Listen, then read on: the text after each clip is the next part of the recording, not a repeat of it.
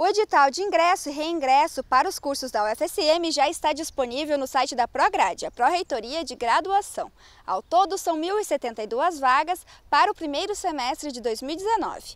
Na hora de realizar a sua inscrição, você deve ficar atento a cinco modalidades: o reingresso, a transferência interna, a transferência externa, o reingresso com transferência interna e o portador de diploma. Se você tem dúvidas em qual modalidade você se encaixa, você deve conferir no edital. Lembrando que cada curso possui seus próprios critérios de seleção e você também deve ficar atento a isso. As inscrições vão até o dia 5 de novembro, que é uma segunda-feira, e podem ser realizadas online pelo site do DERCA. A inscrição fica em 37 reais. Se você tiver alguma dúvida, você pode contatar o DERCA via e-mail também. Thaisa Medeiros para a TV Campos.